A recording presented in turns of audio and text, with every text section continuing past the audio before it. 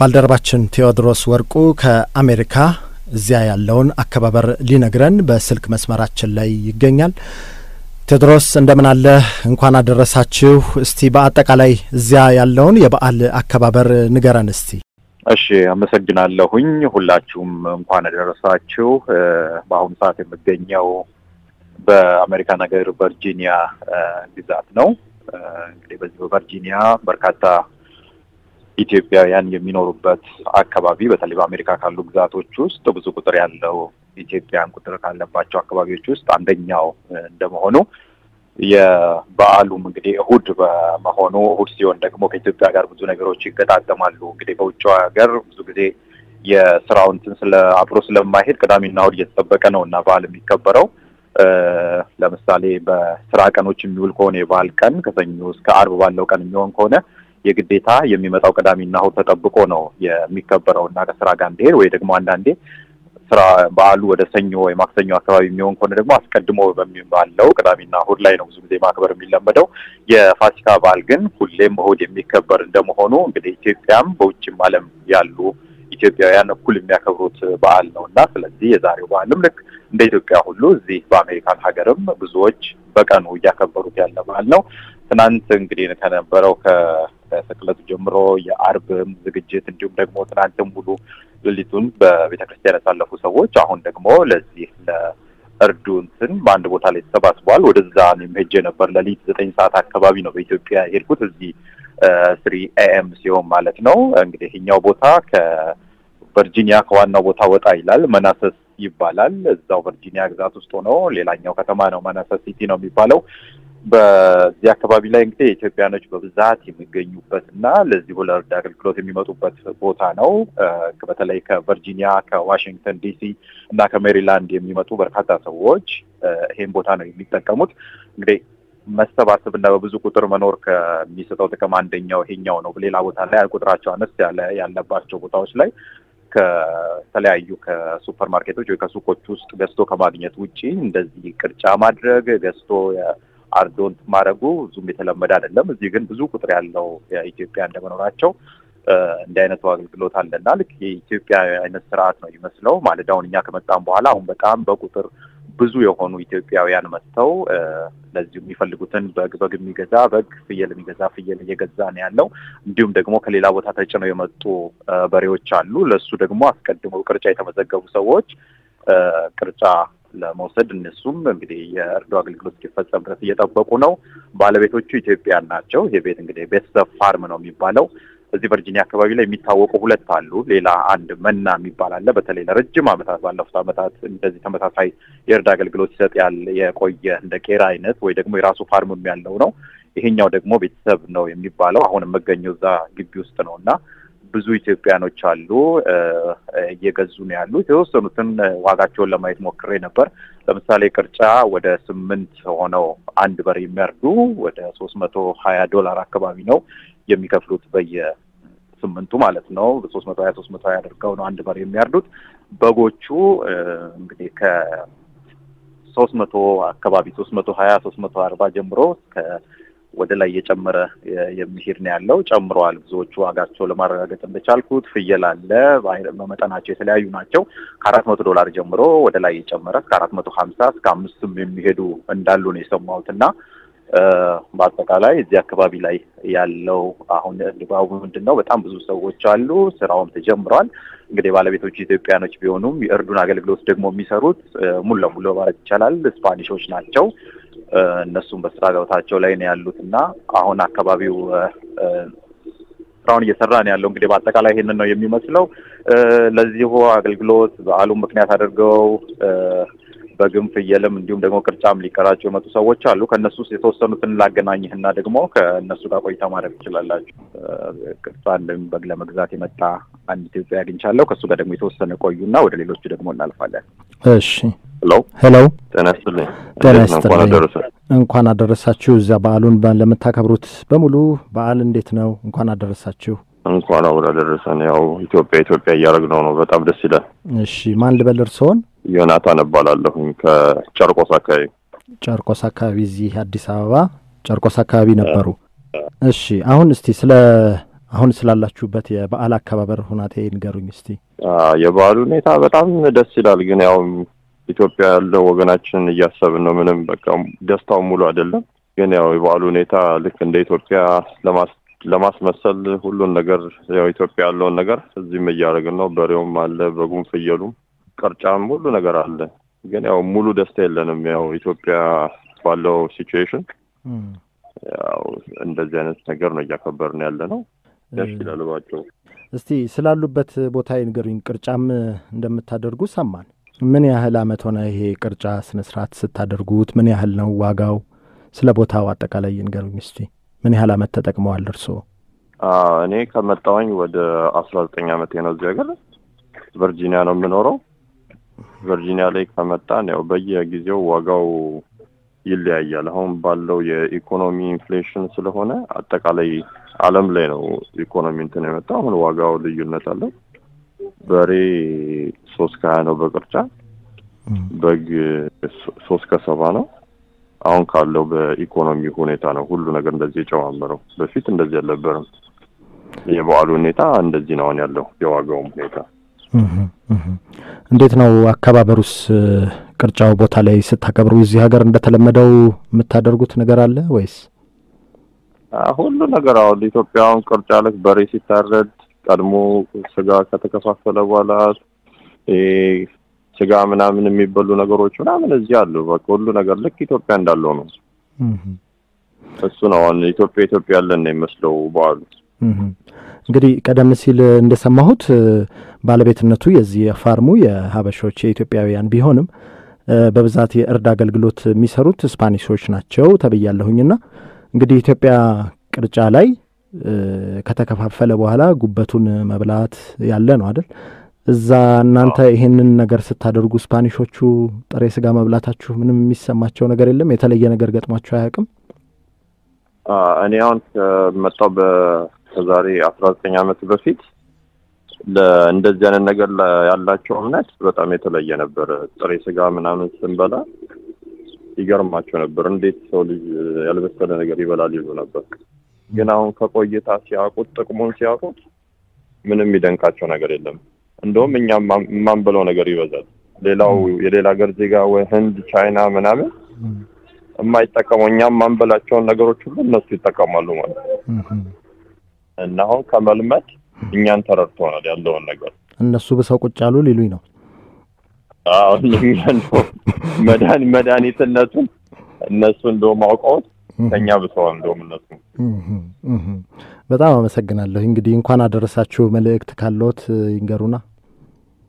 እሺ እንኳን አደረሳችሁ ለመላው የኢትዮጵያ ሕዝብ መልካም በዓል ይሆንላቸው። እንደ እኔ ከጨርቆስ ከድሮ ከጨርቆስ አካባቢ ነው የመጣሁት። ለጨርቆስ ሕዝብ በጠቅላላ እንኳን አደረሳችሁ ከነ መላው የኢትዮጵያ ሕዝብ ጋር መልካም በዓል ይሆንልን። እንግዲህ ሀገራችንን ሰላም፣ ፍቅር ያድርግልን ካለንበት ነገር። እሺ በጣም እናመሰግናለን። መልካም በዓል ይሆንላችሁ። አሜን አሜን። እሺ መልካም በዓል። እሺ እንግዲህ ሌላ አንድ ሰው እንግዲህ ላገናኘ ይሄኛው ደግሞ የዚህ የፋርሙ ወይ ደግሞ የዚህ የቅርጫው ቦታን የሚያስተዳድረው እና ባለቤቱ ነው። እሺ ኮሚኒስት ይባላል። እንግዲህ እዚህ አሜሪካን ሀገር እንግዲህ ላለፉት ሰባት ዓመታት ቅርጫ ሲሰራ የቆየ ሰው ነው። አሁን ደግሞ ሙሉ ለሙሉ ይሄ ፋርሙን ይዞ አጠቃላይ ስራውን እየከወነ ያለው እሱ ነው እና በተለይ ከዚህ ስራ ጋር በተገናኘ የምትፈልገውን ነገር ሁሉ እሱ ሊነግር ይችላል። ወደ እሱ እንለፍና ደግሞ ትንሽ ቆይታ አድርጋችሁ መልስ እንገናኛለን። እሺ ጤና ይስጥልኝ። ጤና ይስጥልኝ። እንደምን አላችሁ? እንደምን አሉ? እንግዲህ በአካባቢያችሁ ያላችሁትን ከነ ቤተሰቦቻችሁ በሙሉ እንኳን ለትንሣኤ በዓል አደረሳችሁ ላለኝ በቅድሚያ እንላለን። እንኳን አብሮ አደረሰን። እሺ እንዴት ነው በዓል አከባበር? በዓል እንግዲህ ጥሩ ነው። ያው በስራ እያሳለፍን ነው።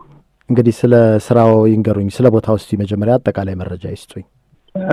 ቦታው ያው በቨርጂኒያ north ቨርጂኒያ ሃይ ማርኬት ወይም መናሰስ area ነው የሚሆነው። ዋሽንግተን ዲሲ አርባ አምስት ደቂቃ ይርቃል። ወይንም ከሜሪላንድ አንድ ሰዓት የሚያስነዳ ቦታ ነው። ያው የሚገኘው location ኑ ያው ሃይ ማርኬት ነው ትክክለኛ ቦታው ቨርጂኒያ። ምን ያህል አመት ሆነ እርስዎ ይህንን farm ከያዙ? farm ኡን እንግዲህ ከያዘን እኛ ከዚህ በፊት ሞሮኮች ነበሩ የሚይዙት። ያው በእነሱ culture ነበር የሚሰሩት። እኛም በአካባቢያችን ያው ብዙ አንድ farm ብቻ ነበረ። እኔ January first ነው የያዝኩት ከፓርትነሮች ጋር ለገና ነው የሰራ ነው። ከዛ በፊት ግን ያው ቅርጫ እያደረገን ቦታውን ተከራይተን እንሰራበት የነበረን ቦታ ነው። ሰባት አመት ሰርችበታለሁ። አሁን ግን ከጓደኞች ጋር ሆነን ያዝ ነው። እንዴት ነው ታዲያ ስራ ከዚህ በፊት ከነበረውት ልምድ የእንስሳት ዋጋን በተመለከተ ተጠቃሚን በተመለከተ ይንገሩኝ እስቲ። ያው እንግዲህ እንደሚታወቀው ያው ብዙ አበሾች ይኖራሉ ዋሽንግተን ዲሲ area ያለው demand በጣም volume ኡ ከፍተኛ ነው።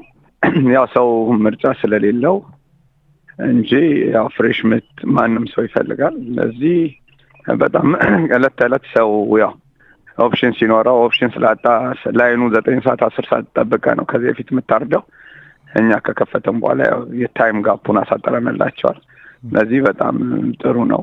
inflation ኑም affect አድርጎናል። ግን ያው ካለው አንጻር ያው እኛ ያው የሀበሻውንም culture ኡንም ጠብቀን ስለምንሰራ ምንም የዋጋም ጭማሪ ብዙም አላደረግንም። ከገናው እንደውም አሁን ይሻላል ቀንሰን ነው እየሰራን ያለ ነው። በቀን በቀን ነው ለተጠቃሚዎች የምታደርሱት ወይስ በዓላት ብቻ ሲሆኑ ነው?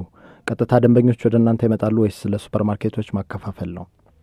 እኛ ለሱፐር ማርኬት የማከፋፈል license የለንም።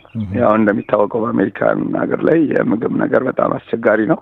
እኛ farm ነው ያለን። ምን ማለት ነው? መተህ ራስህ ገዝተህ አሳርደህ የምትወጣ ነው። ሰባት ቀን ክፍት ነን። አበሻው ብቻ አይደለም customer ራችን፣ west አፍሪካዎች፣ ኔፓሎች፣ ያው ኤዥያኖች አሉ፣ አረቦችም እንዳሉ ብዙ ነው። ሰባት ቀን ነው የምንሰራው። እንግዲህ አሁን ወደ በዓል አከባበሩ እንምጣና እንዴት ነው ቅርጫ? ቅርጫ እንግዲህ ያው አርብ ዕለት ሰባት በሬ ያርደናል። ትናንት አስር በሬ ያርደናል። ዛሬ አስር በሬ ይጠብቀናል። ያው ሰው ከዚህ በፊት ያው የፍሪጅ ስጋ ነበር የሚበላው ያው ወደ ትኩስ ስጋ እንዲበላ አድርገነዋል። ያው ቮሊዩሙ በጣም ከባድ ነው። ያው እኛ እንደ ኢትዮጵያ አድርገን ሰቅለን ስለምንሰራ ያው እዚህ ሀገር እንደሚታወቀው ሁሉም ነገር በማሽን ነበር የሚቆራረጠው። እኛ ብልት እያወጣን ስለምንሰራ ሰው ያው በጣም ደስተኛ ነው። ማረድ ብንችል መቶ በሬ ድረስ መሄድ እንችላለን። ግን ያው ያለው ሰዓት ያው ስለማይበቃን ያው ሰራተኛም እንደሚታወቀው ውስን ነው። ባለሙያ የለንም። ብዙም ባለሙያ ስለሌለ ተወስነን እንሰራለን።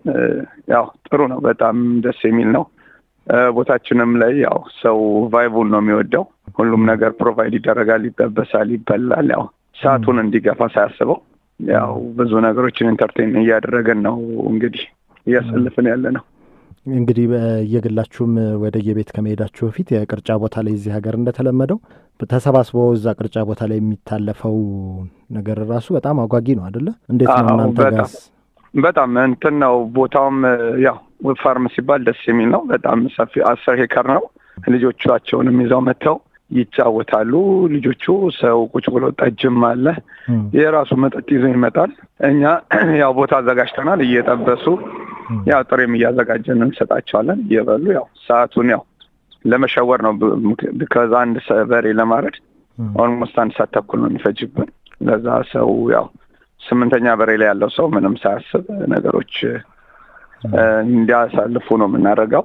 ሁሌ ቅዳሜ ቅዳሜ ዩዥዋሊ ቅዳሜ ቅዳሜ አለን እና ያው አራት አምስት በሬ እናርዳለን ቅዳሜ ቅዳሜ በየኤቭሪ ቅዳሜ ማለት ነው። ስለዚህ ሰው ቦታውን እንደ መዝናኛ ነው ያደረገው። በዛሬው የትንሣኤ በዓል ቅርጫ ላይ ምን ያህል ሰው ነበረ የመጣው ለቅርጫ? እንግዲህ አንድ በሬ ለስምንት ነው የምናካፍለው። እንግዲህ ትላንት አስር በሬ ነው ያለን ነው ሙሉ ቅርጫ ሚወስድ አለ ግማሽ የሚወስድ አለ በግ ወደ መቶ ስልሳ በግ ነው የሸጥነው በአንድ ቀን። ያው አስር በሬ አርደን እንግዲህ parking ም አልነበረንም። የ church ቦታዎችን ጠይቀን አስፈቀደን ነው ፓርክ ያደረግነው። እሺ፣ በጣም እናመሰግናለን። እንግዲህ በቀጣይ በዓሉን እዚሁ የምትወዷት ሀገራችሁ ላይ ለማሳለፍ እንዲያበቃችሁ እንመኛለን። ለአሁኑ መልካም በዓል እንዲሆንላችሁ እንመኛለን። አመሰግናለሁ። እናመሰግናለን። መልካም በዓል። መልካም በዓል። እሺ፣ እሺ። ሰላም ሰላም። እሺ። ባልደረባችን ቴዎድሮስ ወርቁ በመጨረሻ ለማጠቃለያ ያህል ያሉትን ነገሮች መስማት አለባችሁ የምትለውን ለእኛና ለአድማጮቻችን እባክህ ንገረን። እንግዲህ ያው ሰይፍ አድማጮቻችንም እንደሰማችሁት ነው። አጠቃላይ እዚህ አካባቢ ላይ ያለው ድባብ ይህንን ይመስላል። ገና እዚህ ማለዳው እየተጀመረ ነው። እንግዲህ ቀደም ብለን እንዳነሳ ነው በተለይ አሁን የሚታየኝ የመጀመሪያውን በሬ እንትን አድርገው ታርዶ እሱን መክፈፍና እንዲሁም ደግሞ ቅርጫ የሚወስዱ ሰዎች እሱን እየተጠባበቁ ነው ያሉት። ምናልባት ከጀርባ የሚሰማ ድምፅ ካለ የበሬው እንትን የሚባልበት የመጀመሪያ ላይ ህይወቱ ካለፈ በኋላ የሚመጣበት የራሱ የሆነ ቦታ አለው። እንደዚህ ፊት ለፊት አይደለም እንትን የሚደረገው እና ከዛ ቦታ ላይ ተጓጉዞ የሚመጣው በትራክተር ነው። በዛ አሁን አጓጉዞ ይዘውት መጥተው ወደ የሚገፈፍበት ቦታ እያስገቡት ነው ያሉት። የሚጠብቁ ሰዎች ደግሞ ከተመደበ በኋላ ይወስዳሉ። ጥሬ የሚበሉም እዚሁ ጥሬ መብያ ቦታ ተዘጋጅተዋል። ዳስ ተጥለዋል። እንዲሁም ደግሞ ሲጫወቱ የሚውለዋሉ የራሳቸውን መጠጥ ይዘው የሚመጡ በቡድን ሆነው ይመጣዋሉ። ይህ አካባቢ እንግዲህ ትክክለኛው ልክ ኢትዮጵያ ላይ ያለው የዚህ የገጠሩንና የበረት አይነት ሽታ ያለበት ትክክለኛ ልክ የኢትዮጵያ የገጠር አካባቢ የሚመስል ነው ያለው እና ከከተማም በጣም ወጣ ያለ ስለሆነ እዚህም ውለው የሚያሳልፉ ሰዎች አሉና እነሱም በደንብ ተዘጋጅተው መጠጣቸውንም ምኑንም ይዘው ነው የመጡት። በዛ መሰረት የሚያሳልፉም ሰዎች አሉ እና በዛ አሁን እንግዲህ የአንድ ቅርጻ ቅድም ቀደም ብለን እንዳነሳ ነው ወደ ሶስት መቶ ሀያ ዶላር አካባቢ ነው እንግዲህ በዛ ካሰብ ነው ወደ አስራ ሰባት ሺ አስራ ስምንት ሺህ ብር አካባቢ ነው የሚሆነው በኢትዮጵያ ማለት ነው። በጉን ደግሞ ዋጋ ቀደም ብለን እንዳነሳ ነው ከሶስት መቶ ሶስት መቶ ሀያ አካባቢ ነው። እሱም ተመሳሳይ ነው። ፍየል ነው የሚጨምረው እንግዲህ ልክ እንደ ኢትዮጵያ እዚህም ፍየል ይጨምራል። እስከ አምስት መቶ ዶላር ድረስ ነው የሚጠራው። ግን መጠናቸውን ስናይ አሁን አነስተኛ የተባለ አንድ በግ የሚል አይቼ ነበር እና አንዱ አነስተኛ የሚባለው በግ ራሱ በጣም በመጠኑ ዝቅ ያለ ትንሽ ወይፈን አይነት ነገር ነው የሚያክለው እና በጣም ትልልቅ ናቸው በጎቹ። እንደውም ፍየሎቹ ይሻላሉ በተወሰነ ደረጃ አነስ የሚሉት እና ዋጋውን እንዳነሳ ነው እንግዲህ በጣም ጨምሯል። በተለይ እንግዲህ የዚህ የዩክሬንና የሩሲያ ጦርነት እንትን ካለ በኋላ በተለያየ ቦታዎች ላይ ኢኮኖሚው ላይ ኑሮ ላይ እየታየ ያለው ተጽዕኖና ክብደቱ እዚህም በደንብ በግልጽ ነው የሚታየው። እውነት ለመናገር ከዛሬ ዓመት አካባቢ አንድ ዓመት ተኩል በፊት አንድ በግ ወደ አንድ መቶ ሰማንያ አምስት ዶላር ነበረ የሚሸጠው እዚህ አርዶ ሁሉ ነገሩ ተጨርሶ አሁን እንግዲህ ወደ ሶስት መቶ ሀያ ዶላር አካባቢ እየተባለ ነው እና ዋጋውን ልዩነት በዚህም ልናየው እንችላለን። እንደ ምክንያት የሚነሳው ይሄ ነው። ነዳጅ፣ ሌሎች ነገሮችም በተለይ የዚህ የቤት ውስጥ መገልገያ የአትክልት፣ ሌሎችም በጣም ዋጋቸው ጨምሯል። ነዳጅ ለምሳሌ አንድ ዶላር ስልሳ ሳንቲም ወይ ደግሞ ሁለት ዶላር ከሀያ ከሰላሳ አካባቢ ነበር እዚህ አሜሪካ የተለመደው። በጋለን ነው ይሄን የምናወራው እንግዲህ አንዱ ጋለን ማለት ወደ ሶስት ነጥብ ሰባት ሊትር አካባቢ ነው እንግዲህ የተለመደው። ይሄ ከአንድ ዶላር እስከ ሁለት ዶላር አካባቢ ነበር። አሁን በሚገርም ሁኔታ ከአራት ዶላር በላይ ነው እየተሸጠ ያለው። ያ ማለት እንግዲህ የእጥፍ እጥፍ ማለት ነው። ሌሎችም ቦታዎች ላይ እንደዚሁ አይቼ ነበር። በቅርቡም ወደ ሚኒሶታ አካባቢም ሄጄ አይቼ ነበር። በተለይ ሚኒሶታ ላይ ነዳጅ ከሌሎቹ ቦታዎች ላይ ይቀንሳል የሚባልበት ቦታ ነበር። አንድ ዶላር ከዘጠና ከሰማንያ የሚሸጡበት ቦታ ነበር። እዛ እንኳን ወደ ሶስት ዶላር ከዘጠና ሳንቲም ከዘጠና ስምንት ሳንቲም ነው ያየሁት እና ከእጥፍ በላይ ጨምሯል። ወደ ሌሎች ወደ ሱፐር ማርኬቶች ውስጥ ምናምን ስታይ የግሮሰሪ እቃዎች፣ ቲማቲም፣ ሌሎቹም ነገሮች በጣም ተወደዋል እና እዚህም ልክ እንደ ኢትዮጵያ ሁሉ የኑሮ መወደድ ብዙዎቹ እያማረሩ ነው። አሁን እዚህ ያለሁበት ቦታ ራሱ የምሰማው ብዙውን ኢትዮጵያኖች የሚያነሱት ስለ ዋጋ መወደድ ነው። ካለፈው ሰባ ዶላር ጨመረ፣ ካለፈው ሰማንያ ዶላር ጨመረ የሚል ነገር ነው እና የሚወራው የዚህ የጦርነት ያመጣው ተጽዕኖ እዚህም በግልጽ መታየት ጀምሯል እና በአጠቃላይ ይህንን ይመስላል። በዛም ሁሉም ውስጥ ቢሆን ግን ብዙ ቁጥር ያለ ኢትዮጵያ መጥተው እንግዲህ አሁን በዓሉን ለማሳለፍ እዚህ ቦታ ላይ ዝግጅት እያደረጉ ነው ያሉት። የእርዱ ስነ ስርዓትም ተጀምሯል። አጠቃላይ ያለው ነገር ይሄንን ነው የሚመስለው። እንደው በመጨረሻ እዚህ ሀገር ከተለመደው ቅርጫ እዛ ጎደለ የሚባለው ነገር ምን ይሆን? እውነት ለመናገር ሁሉም ነገር አለ። በጣም የሚገርመው አንዳንዶቹ ሁሉም የተሟላ ነው። ሌላው ምንድን ነው የእርዱ ስነ ስርዓት ነው ትንሽ ተለየ ብለን ልናወራ የምንችለው። እንግዲህ ኢትዮጵያ የለመድ ነው እዛው ፊት ለፊት ላይ የሚባርክ ሰው ይመጣል፣ ታርዶ እዛው ተገፎ ነው። እዚህ ለየት የሚያደርገው ነገር ያው ተመተው ነው መጀመሪያ በሬዎቹ ህይወታቸው እንዲያልፍ የሚደረገው። ከዛ በኋላ ሌላ ቦታ ላይ ከተባረከ በኋላ ለእርዱ አገልግሎት የሚመጡት ወደ ሌላ ቦታ ነው። እዛው ፊት ለፊት መፈጸም ያንን አይቻልም እና ይህንን የሚከለክለው አሰራራቸውም ትንሽ ከሴፍቲም ከምንም አኳያ ከደህንነቱ ብዙ ነገር ትንሽ ጥንቃቄ ይደረጋል። እዚህ ለየት የሚለው እሱ ነው። ከዛ ውጪ እንግዲህ ያለው ከታረደ በኋላ አጠቃላይ የመክፈፉን እንዲሁም ደግሞ መመዳደቡን ምናምን ስራ የሚሰራው ሁሉ በማሽን ነው። የተወሰኑ እዚህ ስራ ላይ እንግዲህ በጣም የተካኑና ልምዱ ያላቸው ስፓኒሾች ናቸው በብዛት ይህን ስራ የሚሰሩት። የዚህ ምክንያቱ ምንድን ነው ካልን ደግሞ ያው የታወቀ ነገር ነው እንግዲህ የወረቀት ጉዳይ እዚህ ጋር አብሮ የሚነሳው ዮሴፍ፣ ወረቀት የሌላቸው በዚህ በሜክሲኮ እና በሌላ በድንበር አሳብረው ወደ አሜሪካ የገቡ በርካታ የስፓኒሽ ቋንቋ ተናጋሪዎች አሉ። ሜክሲኮውያን ናቸው የሚበዙት። እነዚህ ሰዎች እንግዲህ እዚህ አሜሪካ ከገቡ በኋላ ወረቀት ካላገኙ፣ work permit ከሌላቸው፣ የመኖሪያ ፍቃድ ካላገኙ ዋናው መደበኛ የሚባለውን ደግሞ መንግስት የሚያውቀውን ታክስ የሚከፍሉበትን ስራ መስራት አይችሉም። ስለዚህ እዚህ ሀገር በሚቆዩበት ጊዜ ደግሞ መኖር አለባቸው። ቤተሰቦቻቸው መደገፍ፣ መርዳት አለባቸው። ስለዚህ በዚህ ጊዜ ላይ የሚሰራ ስራ አለ። የ cash ስራ ነው የሚሰራው። cash እንግዲህ ማለት በትክክለኛው ካወራን በአሜሪካ በስርዓት ውስጥ የማይፈቀድ ነው፣ ግን የተለመደ ሆኖ ደግሞ በስምምነት ዝም ብሎ የሚሰራ አለ። ለምን ለሚሰሩት ስራ የሚከፈላቸው በ cash ነው ማለት ነው። ስለዚህ እንደዚህ በተለያየ ሀገር የሚገቡና የመኖሪያ ፈቃድ የሌላቸው ሰዎች እንደዚህ አይነት ስራዎች ላይ ነው የሚሰማሩት እና ይህንንም በተለይ ከዚህ farm ኦች ጋር የተገናኘውንም ስራ ሙሉ ለሙሉ በሚባል ደረጃ የያዙት እነዚሁ Spanish ኦች ናቸው እና እዚህም የምናያቸው እነሱ ናቸው። ምክንያቱ ደግሞ ያው ይሄው እንዳወራ ነው እነሱ በዚህ በወረቀት ምክንያት ነው እና ወረቀታቸውን እስኪያገኙ ሊሰሩ የሚችሉት ይህንን የ cash ክፍያ ነው። ቀጥታ ከመንግስት ጋር ያለውን ግንኙነት ማድረግ ስለማይችሉ በዛ መሰረት እነሱ አጠቃላይ ይህን ስራ ይሰራሉ። በማሽን እየታገዙ ነው። አንድ በግ ጨርሶ መዳድቦ እንደሚፈልገው መጠን ቆራርጦ ምን ብሎ ምናምን ለማዘጋጀት አስር ደቂቃ አይፈጅም። ያንን የሚያህል ትልቅ ነው በመጠኑ ግን ማሽን ስላለ በማሽን እየሰነጣጠቁ ለሁለት መድብልኝ ከተባለ ለሁለት እንደ አስፈላጊነቱ ይመድባሉ። ከዛ ደግሞ የሚያስፈልገው ደረጃ መጠናቸውን አሳንሰው በስጋውን ለብቻ አጥንቱን ለብቻ አድርገው ይሰጣሉ እና ለየት የሚለው እንግዲህ በማሽን የሚሰራ መሆኑ ነው። ከዛ ውጭ ግን ሁሉም ነገር ተመሳሳይ ነው። እንግዲህ ኢትዮጵያኖቹ በቁጥር ብዙ ስለሆኑ ሌላውን እንደውም እያስለመዱ ነው። አሁን ስፓኒሾቹም ጥሬ በጣም ለምደዋል። የትኛው ስጋ ለጥሬ መሆን እንዳለበት ለይተው ያውቃሉ። ነጮቹም አንዳንዴ ይሳተፋሉ እና የሚመጡትም ሰዎች የራሳቸውን መጠጥ በኪሳቸውም ሚጥሚጣ፣ አዋዜ የሚመጣ አለ። እዛች ዳሷ ውስጥ ቁጭ ብለው እንግዲህ ለጥሬ የሚሆን ስጋ ይቀርባል። እሳት ተያይዘዋል። ጥብስ ይጠብሳሉ ጎን ላይ ብዙ ነገሩ ልክ ኢትዮጵያ ያለ ነው የሚመስለው ከነ አካባቢው ገጠር ከመሆኑ ጋር እና ብዙ የሚጎል ነገር የለም። ተመሳሳይ ነገር ነው የሚታየው። መልካም ባህል እንዲሆንላችሁ እንመኛለን። መልካም ባህል ይሆንላችሁ በልልን እላለሁ። ሁሉንም እንግዲህ ለእናንተም መልካም በዓል መልካም ጊዜ እንዲሆንላችሁ እመኛለሁ። መልካም በዓል። በጣም እናመሰግናለን። የተከበራችሁ አድማጮቻችን የሸገር ኤፍኤም አንድ መቶ ሁለት ነጥብ አንድ ስርጭት ይቀጥላል። የእንኳን አደረሳችሁ መልእክቶቻችሁን አሁንም በ011 1 27 54 54 እየደወላችሁ እንዲሁም በ81 01 አጭር የጽሁፍ መልእክት ብትነግሩን ደስ ይለናል። ሸገር የእናንተው ነው። መልካም በዓል ይሁንላችሁ። እያደመጣችሁ እንድትቆዩ አሁንም በማክበር እንጋብዛለን።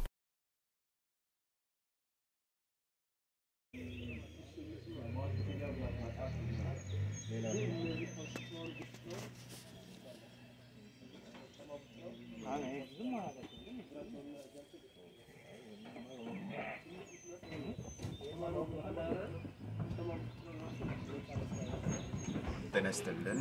እንኳን አደረሳችሁ የተከበራችሁ የሸገር ቤተሰቦች። አሁን የምገኘው በቨርጂኒያ state ውስጥ በአሜሪካ ቨርጂኒያ መናሰስ የሚባለው ከተማ ውስጥ ነው። ይሄኛው አሁን ያለሁበት ቦታ ቤተሰብ farm ይባላል። በርካታ ኢትዮጵያን ሰባስበው በዓልም ሲሆን ሌሎችም ልጆች እንዲሁ ዊኬንድን ጠብቀው ቅዳሜ እሑድ ላይ እርድ የሚፈጽሙበት በግ፣ ፍየል፣ በሬ አርደው ቅርጫ የሚቀራጩበት ቦታ ነው እና በርካታ ቁጥር ያላቸው ኢትዮጵያኖች አሁንም ለዚህ ለፋሲካ በዓል እዚህ ቦታ ላይ መጥተው በዓሉ የሚያስፈልጋቸውን የእርድ አገልግሎት ለመፈጸም እዚህ ቦታ ላይ በጣም በብዙ ቁጥር ይገኛሉ። ይኸው እንደሚታየው ከዚህ ጋር ነው የሚጀምረው። ይሄ በረቱ ነው። እዚህ ጋር የሚፈልጉትን ፍየል፣ በግ መግዛት ይችላሉ። እንዲሁም ደግሞ በሬ ደግሞ የሚቀጥለው ቦታ ላይ አለ። ከዛ ከገዙ በኋላ ወደ ውስጥ ሄደው የእርድ አገልግሎት ይፈጽማሉ።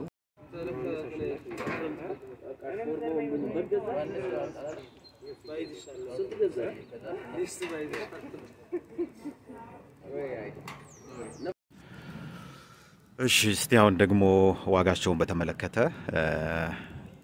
እንሰማለን። እንደምታዩቸው አንድ አነስተኛ የሚባለው በግ ነው። ይሄ እንግዲህ በመጠኑ በጣም ትልልቆች ናቸው፣ ግን አነስተኛ ተብለው የሚሸጡት ናቸው እነዚህ እና እስቲ ስለ ዋጋቸው የተወሰነ ነገር ንገረን። ያው እንግዲህ ዋጋቸው እንደየኪሏቸው ነው፣ እንደ ትልቀቱ ነው። ትልቁ ሶስት ከሰማንያ ነው። ይሄኛው ነው ትልቅ የሚባለው ሶስት ከሰማንያ ነው። እነዚህ አነስ ያሉት ሶስት ከሰባ ናቸው። እዛ ጋር ደግሞ እንደምትመለከተው ፍየል አለ። ፍየል ትንሽ ዋጋ ይጨምራል። ፍየል ወደ አራት መቶ ብር ነው የሚሸጠው። ሌሎቹ ግን እንደየእንትናቸው ሶስት ከሰማንያ እና እስከ ሶስት ከሰባ ድረስ ነው የሚሸጠው። እንግዲህ ከተወሰነ ጊዜ በፊት ዋጋቸው ረከስ ያለ ነበር። አሁን ግን ተወዷል ይባላል እና ዋጋቸው ጨምሯል። አንተ የምታውቀውን እስቲ ንገረን። አዎ ድሮ እስከ ሶስት ከሀያ ነበር የሚሸጠው በፊት እስከ ሶስት ከሀያ ሶስት መቶ ብር ነበር የሚሸጠው።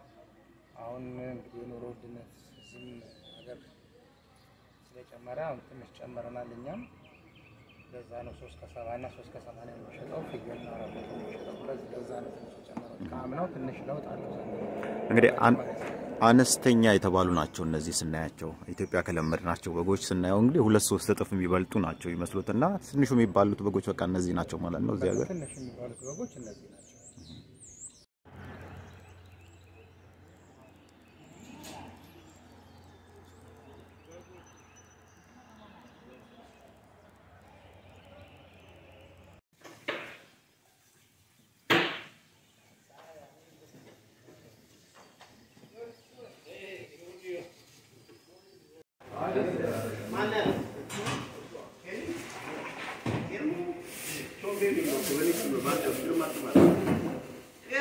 አይደለም ያየረ እና ትሰራለህ ከዛ ይዘት ሄዳለህ